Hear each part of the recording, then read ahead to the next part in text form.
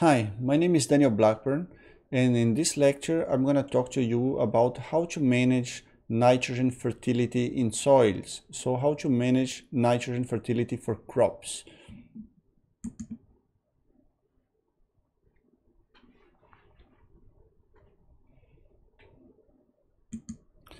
All right, so this is part two of the soil nitrogen uh, lecture. The first part, if you have not checked it yet, go and check now.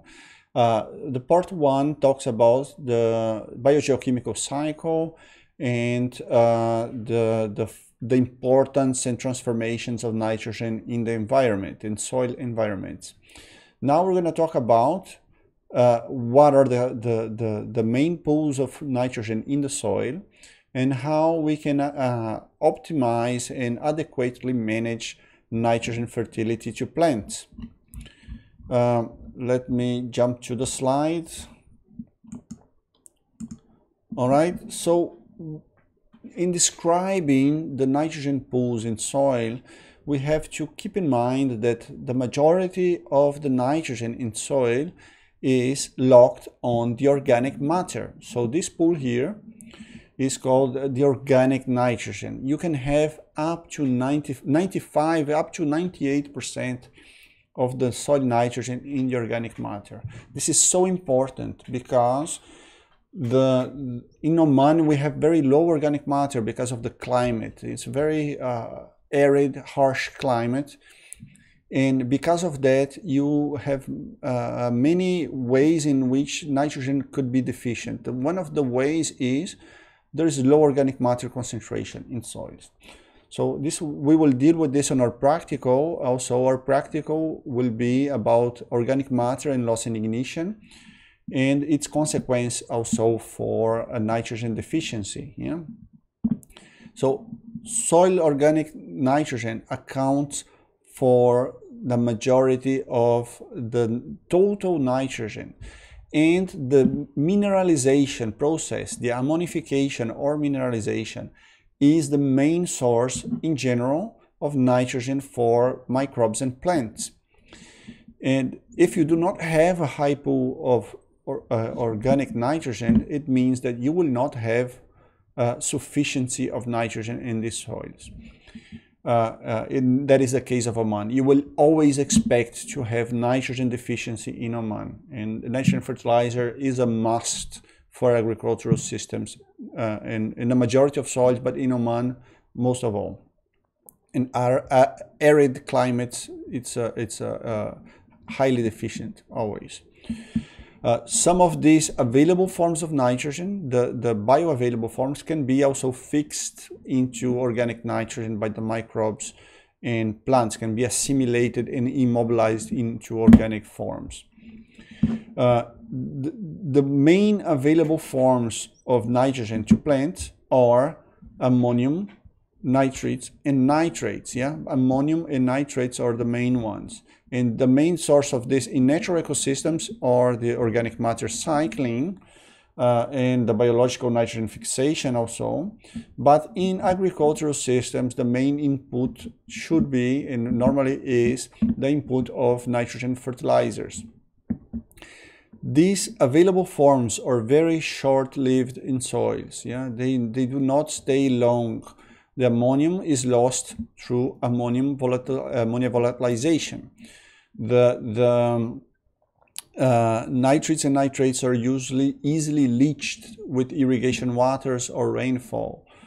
And um, because of this, uh, and also denitrification. Denitrification is also happening when you have anaerobic conditions. So because these available forms are short-lived, that is why these pools are not long-standing. Yeah? So normally the, the organic matter would be the more long-standing pool on the soil.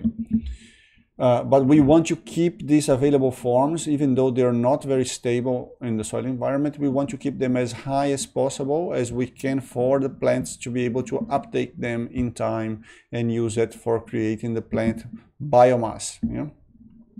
Plants also with uh, uh, the legumes with biological nitrogen fixation with the symbiotic association with uh, rhizobium will also have some uh, strong inputs from atmospheric nitrogen through the biological nitrogen fixation.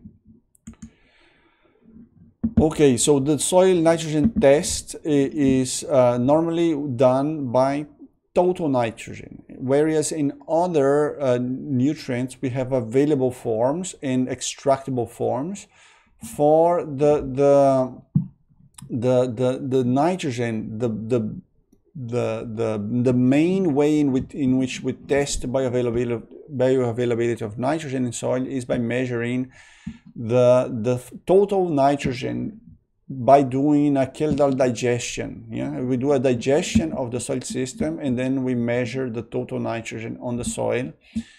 And most of that, 98%, normally is present in organic forms. In organic forms. Um, this is different from other nutrients. The majority of the soil phosphorus are it's not bioavailable. Whereas in, in, in nitrogen, we expect that the, the, the, the measurement of bioavailability is by measuring the total nitrogen. This is uh, very different from other nutrients. Uh, the nitrogen fertilizer products and the most used ones are urea, yeah, urea and the ones that are associated with phosphorus, monoammonium phosphate and diammonium phosphate, yeah. But we have other sources of nitrogen fertilizers also, ammonium, like ammonium nitrate, for example. Yeah? Ammonium nitrate could be another source. Um, this is the molecule of urea here. Yeah, we have one carbon um, uh, molecule with two uh, amino groups. When we talk about the application of nitrogen, the, that same type of concept of the, the, the, the critical phosphorus or, uh, and the efficiency uh, of the, the, the fertilizer application can be applied for nitrogen also. If all the nitrogen we applied was absorbed by, by the plant, we will have a straight line in here in this graphic. This graphic shows the yields or nitrogen uptake. Uh, in here on the bottom, we have the nitrogen applied. Yeah, The more nitrogen applied, the more you will have the yields. But when you increase the nitrogen application, you decrease the efficiency. It means that not all the nitrogen that you applied apply will be taken up by the plants. So if you apply 60 kilograms of nitrogen uh, per hectare, you would expect to have that the, the, actually the uptake will be only about 70% of this nitrogen. But if you apply 100, the uptake will be you know only half of this this amount. It will be only half of this amount. So the more nitrogen you apply in kilograms per hectare, the lower is the efficiency of the nitrogen uh, uh, uptake by these plants. It means more of this nitrogen will be lost, will be lost by denitrification, will be lost by ammonium volatilization uh, um, or nitrate leaching. Uh, what we want is that we want to keep the highest efficient efficiency the uh, for for to do not waste money on uh, and um, do not pollute the environment with this nutrient. So what we want to do is we want to apply the nitrogen always in the lowest doses we can, but fraction. So we apply the as many more times as possible with the lowest amount that is will be adequate for plants. So it's better to supply the nitrogen fraction in many applications and with that you will increase the efficiency. The majority of the nitrogen that you will be adding to the soil will be uptaken by the plants and not lost to the environment. So the, the, the ways in which we lose this nitrogen from the soil is uh, from ammonium-based fertilizers, we have uh, volatilization and nitrate-based fertilizers is by leaching and denitrification. When you apply urea, urea is an organic molecule but will quickly be hydrolyzed into ammonium. Uh, so you would, you would expect usually about 1% loss per day. Every, when you apply the urea every day, you will have 1% less of that urea through the losses, not accounting for the uptake by the plants. Uh, in warm soils like in Oman, you have high volatilization, yeah? and uh, and with high moisture, you also uh, um, with dry soils you increase volatilization. With high moisture, you will increase denitrification. You create more anaerobic conditions and increase denitrification. But with dry soil, you increase volatilization because the concentration of the ammonia uh, in the soil solution will be higher and because this concentration is high is higher you will increase the, the, the volatilization losses uh, with regards to pH uh, alkaline soils you will have more volatilization than in acid soils so when when the incorporation of these fertilizers is also important normally nitrogen is applied uh, on the surface of the soil but the more superficial is the application you will have higher volatilization. So what you what you want to do with the with the volatilization is actually try to have a slow release nitrogen fertilizers in order to avoid building up high concentrations of ammonium in the soil and avoid to create this potential for uh, the volatilization. Either you use slow release fertilizers or you fraction your application the more you can. And when you do this application, if possible, uh, uh, you uh, it will be a buried fertilizer, uh, not on the surface of the soil. This is not always possible, but uh, if you can do it, the better. Uh, so the nitrate losses, on the other hand, not talking about the ammonium volatilization anymore, now about the denitrification process. So the nitrogen losses uh, they, they can also vary with pH, temperature, and moisture. So what you see here is that when we get to uh, alkaline pHs, you have also more denitrification process. When you have acid pHs, this is inhibiting the denitrification process. Uh, when we talk about the temperature effect, we will see also that higher temperatures also accelerate the denitrification process. Um, and of course, the effect of moisture, because this is an anaerobic uh, process carried out by microbes in the soil, it, it, becomes that the higher the moisture you have, you will have uh, higher rates of denitrification happening.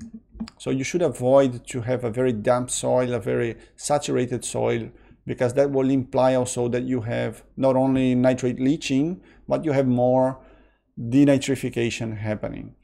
Denitrification in most soils is secondary to ammonia volatilization or um, uh, nitrate leaching.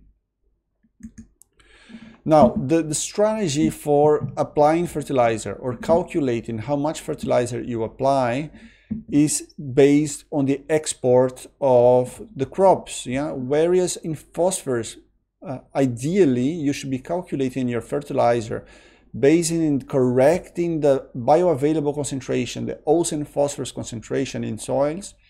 For nitrogen, you cannot do that. Yeah, there is no uh, uh, no way of reliably storing too much nitrogen in the soil unless you were building up organic matter. The only way of increasing the pool of availability of nitrogen in soils is increasing organic matter content. And depending on the climate, there is some limitations for that. You can never build up too much organic matter on the soil because the climate does not allow allow for that. So the, the cycling is too high in Oman. And because of that, uh, um, you cannot build too much organic matter in the soils. Normally organic matter is not long lasting in uh, tropical or arid climates.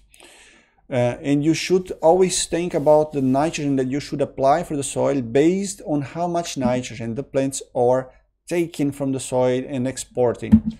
So uh, in this situation, you have to calculate how much you are taking up from the soil and exporting. So you need to know the yield per area. You need to know also what is the concentration of nitrogen per kilogram of yield unit or, or, or kilograms or tons or whatever it is that you're uh, using as a yield, yield unit and you, you will divide that by the efficiency. Yeah? So if the efficiency is 70%, you will divide that by 0.7, for example. So here is an example of a calculation.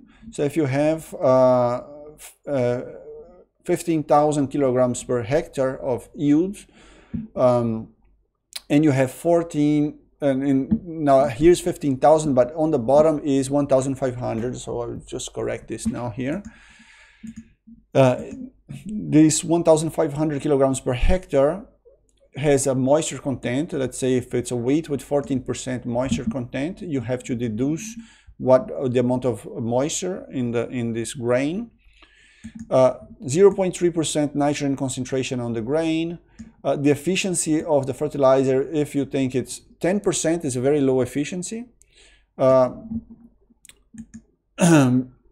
but you can, you can, you know, uh, even here, we in the calculations using 70%. So let me change here, 70%.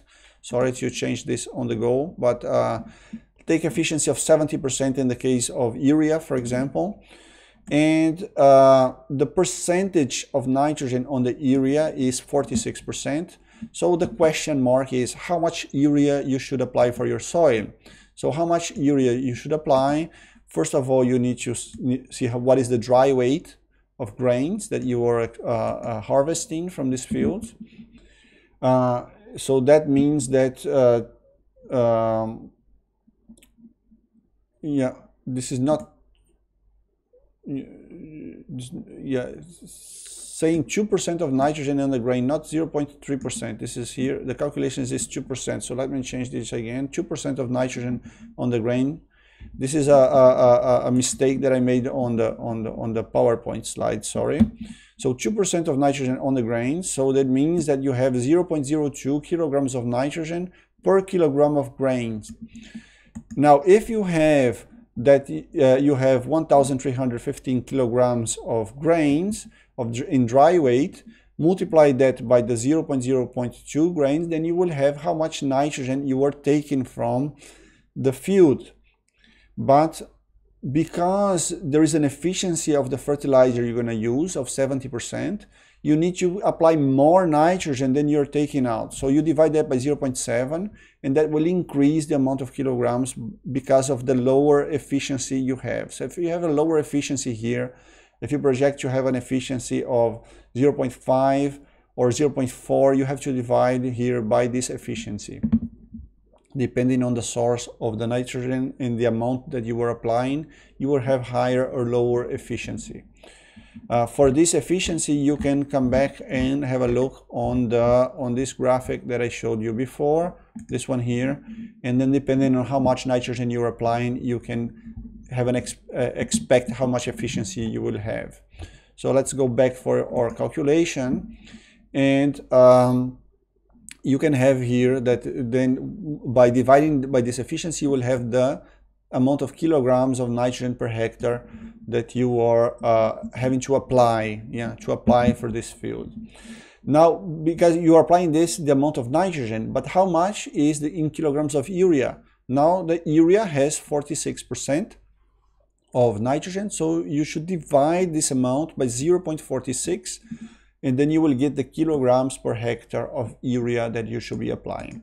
So this is the method of recommending fertilizer based on the crop export.